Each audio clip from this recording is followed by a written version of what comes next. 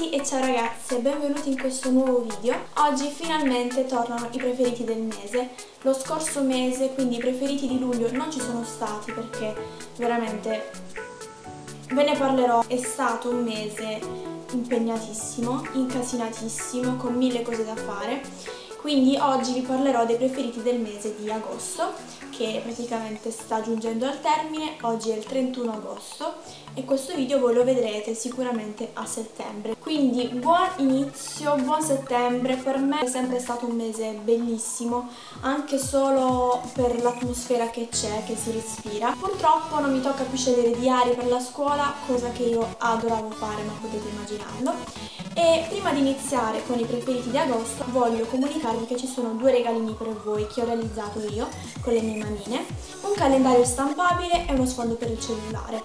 Il calendario stampabile è questo qui, è in formato A4 e io lo appenderò dietro il mio computer ma si può tenere anche sulla scrivania. E poi lo sfondo per il cellulare, sempre a tema settembre, coordinato con il calendario che io ho già impostato. Quante notifiche sono? Dio mio! Che io ho già impostato, voi non vedrete assolutamente niente, però i link per scaricare questi file li trovate nell'info box del Play With Me di settembre, quindi vi lascio il link del video sia nelle schede che nell'info box, andate a controllare l'info box di quel video, trovate i due link diretti per scaricare gratuitamente queste due cosine. Fatemi sapere se li scaricate, se vi piacciono, mandatemi una storia su Instagram, un messaggio, mi farebbe moltissimo piacere vedere come li usate e fatemi anche sapere soprattutto se vi piacerebbe l'idea di avere queste due cose ogni mese, quindi se questo piccolo progetto andasse avanti per i mesi a venire. Ma tornando al video, cominciamo con la canzone preferita del mese. Allora, questo mese non ho ascoltato per niente musica, a parte uh, le musiche che ho dovuto uh, usare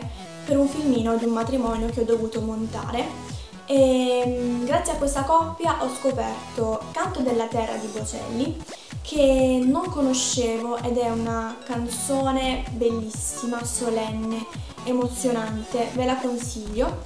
Ovviamente non è la solita canzone che vi ascoltate quando state al mare, eh, però è molto molto bella poi passare tutto il mese con musiche molto molto da matrimonio, no? Poi qualche giorno fa è uscita la nuova canzone di Taylor Swift. C'è stato un polverone dietro questa canzone eh, per motivi loro. Lei ha litigato con Katy Perry, insomma, problemi da VIP e quindi mi sono detta ascoltiamola, vediamo di cosa parlano tutti e sono entrata in fissa.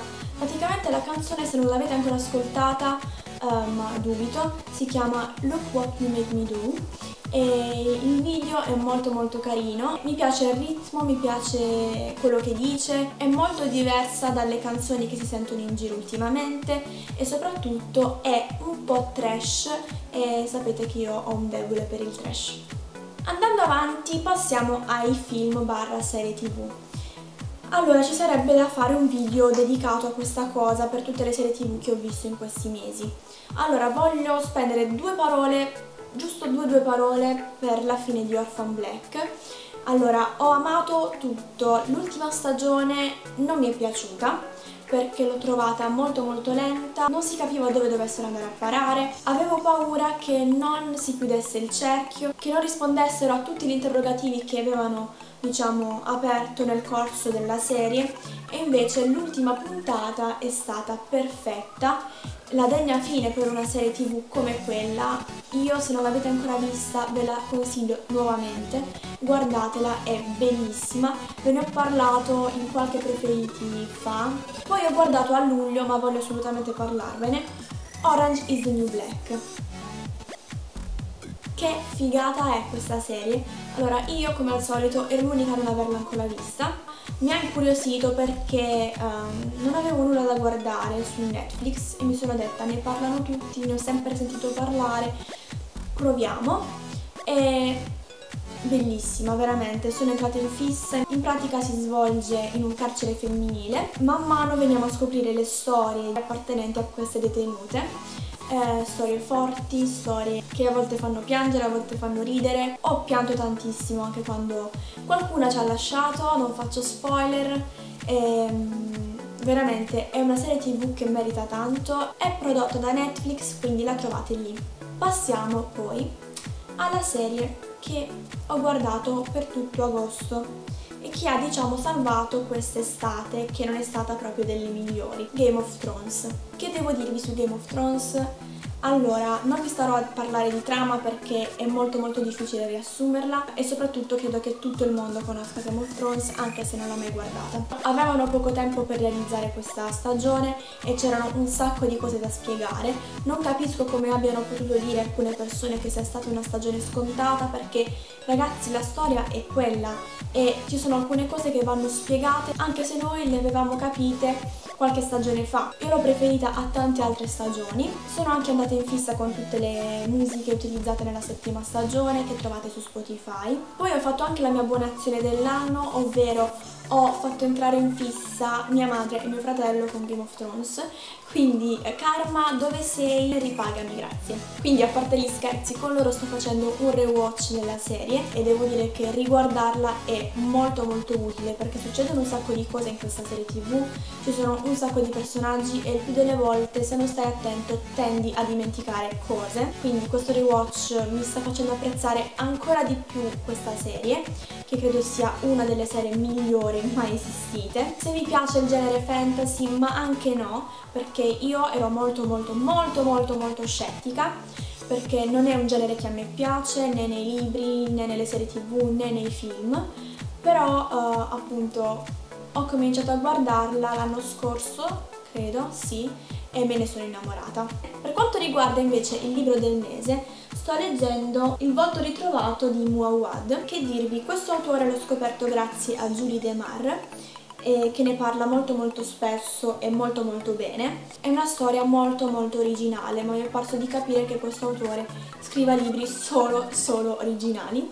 In pratica parla di questo ragazzo, di questo bambino che a 7 anni assiste ad un attentato terroristico e in un giorno qualsiasi della sua vita, dopo qualche anno, si ritrova a non riconoscere più i suoi genitori. Quindi capite bene che percorre dei temi psicologici e l'atmosfera è abbastanza mistica. Io sono praticamente a metà libro e non vedo l'ora di capire come andrà a finire come si svolgerà la storia, come verrà spiegata appunto questa amnesia momentanea. Se non avete nulla da leggere e vi intriga un po' la trama, io ve lo consiglio. Se qualcuno di voi l'ha letto, fatemi sapere qui sotto nei commenti se vi è piaciuto o meno. La categoria cancelleria del mese la saltiamo purtroppo perché non ci sono stati acquisti nuovi, non ci sono novità a riguardo e passiamo direttamente alla categoria Bullet Journal Update. Come sapete in questi due anni di Bullet Journal ho cambiato un sacco di abitudini e ho cambiato il modo in cui rappresentavo la mia vita su questo quaderno.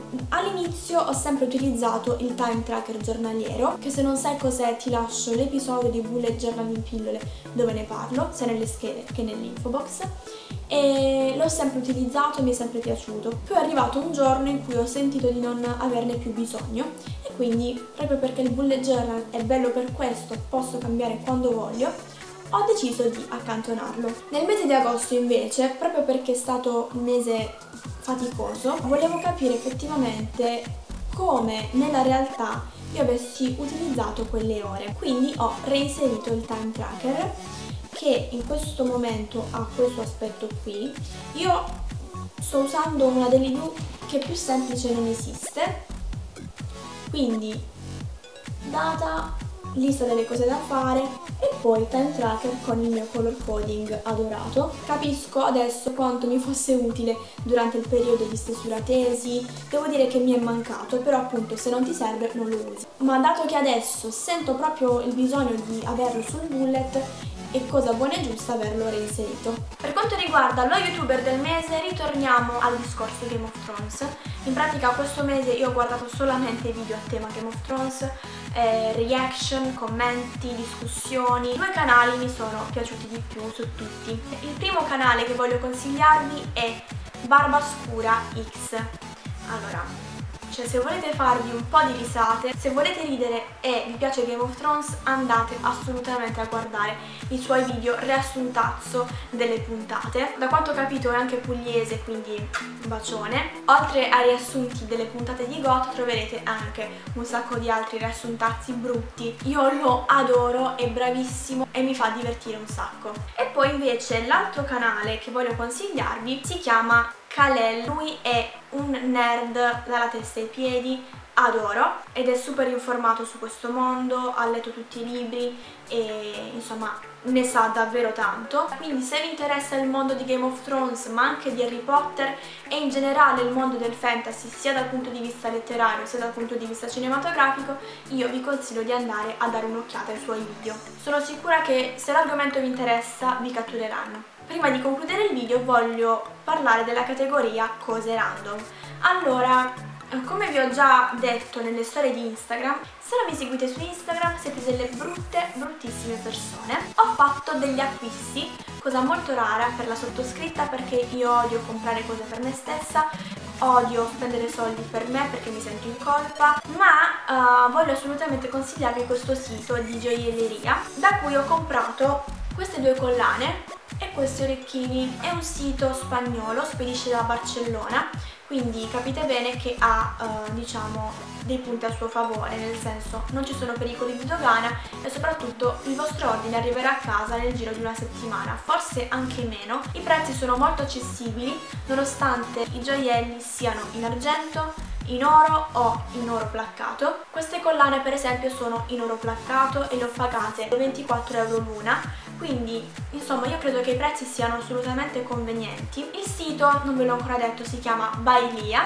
vi lascio magari il nome qui e il link nell'info box. Non mi pagano per parlarne ma mi sono trovata davvero molto molto bene e quindi mi sembra giusto consigliarvelo. Il video è finito spero che vi sia piaciuto e che vi abbia tenuto un po' compagnia. Iscrivetevi al canale se non siete ancora iscritti e attivate la campanella per rimanere aggiornati.